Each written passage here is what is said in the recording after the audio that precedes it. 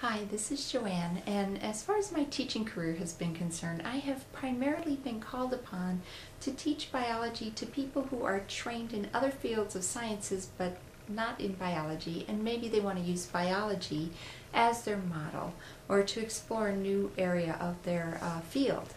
And uh, so I basically it seems I'm an engineer magnet, and I learned in my graduate school years that biologists and engineers are very, very different. They think think about things very differently. They approach their problems in uh, very divergent ways. Um, so in graduate school, I had a very unique set of skills and was able to get very prime teaching positions. And one of the courses I taught was called Scanning Electron Microscopy.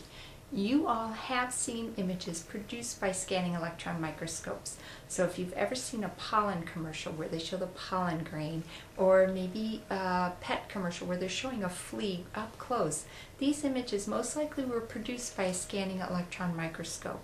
And we produce these images by sending electrons through a filament in this microscope that's very, very tall, maybe about 10 feet tall and these electrons shoot down onto the sample. We focus the electrons with magnets, and uh, the electrons scan across the sample, the scanning, and then we're able to capture the image. Now, most of the pictures you see are colorized, and they make for very amazing photographs. And um, and it, it turns out that you know if you get enough of these photographs together you can make a beautiful picture book and somebody has. And this book is called microcosmos and it's compiled by Brandon Broll. And i keep this particular book full of images in my uh, teaching laboratory. And then when students are waiting around for uh, their experiment to finish or something then you know they can go ahead and look at this. And it is pretty nice that uh, the you know I keep this around. So here's um, for instance, an ant holding a silicon microchip.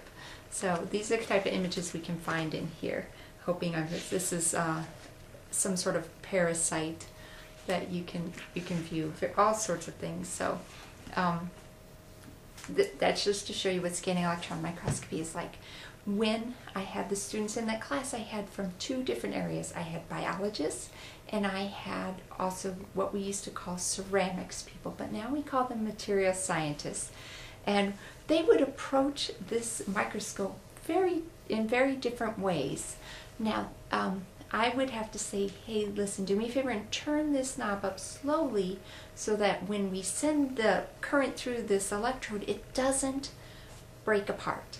Because if it breaks apart, then, you know, if you're using it at 3 a.m., then I need to come in and fix that. And this is not my idea of a good time. So, um, turn it up slowly when biologists would come to this knob, they would they would turn and they would just start turning very, very slowly and with trepidation. And you could see the fear in their eyes. It'd be like thinking that the machine was just going to explode if they turned it up too fast at all. Sort of like as if it were a, a living organism. If you break it, that's it. It's the, the end of the end of the microscope.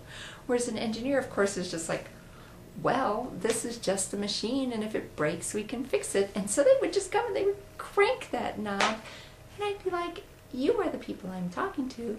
Please don't do this. Uh, have respect for this machine. And uh, anyway, so that, that was my first uh, experience in seeing how engineers and biologists approach something very differently. Um, and now that I'm working in a bioengineering department, um, I often, I'm often called upon to, to consult with these uh, primarily engineering minded folks uh, to, to explain to them different things about biology. And I find that it is very difficult to convey the complexity and the elegance of biology and the, the way um, we, we think about it um, to these people because they, they will often say, hey, I'm just going to do this and this is how it's going to turn out. And i'm just sure that's how it's going to turn. I said well you might want to talk to the cells about that because i'm not sure they're going to agree. They're they're going to be on the same page with you. So i always wonder wow how can how can i explain biology to these people the, the complexity of the whole thing? And i think i found a way. And this way would be through this book microcosm. And this is called e. coli and the new science of life by Carl Zimmer. Carl Zimmer has been a science writer for quite some time, and his topics are always biological.